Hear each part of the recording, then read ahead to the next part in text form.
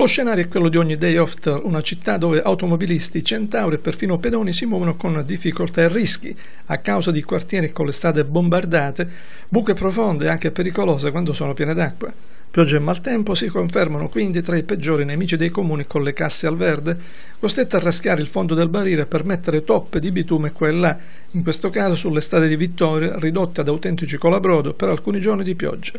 Occorrono risorse che evidentemente né le passate amministrazioni né quella di oggi possiedono, risorse che permetterebbero di affrontare in maniera radicale una volta per tutte il problema con l'asfalto sempre rattoppato ma che va in pezzi senza un minimo di resistenza alle prime gocce d'acqua o al caotico traffico del centro cittadino. Rimedi? Semplice, procedere a passo d'uomo, aguzzare la vista perché si può anche rischiare di finire dentro una buca, restarci e poi sperare di arrivare senza danni a destinazione.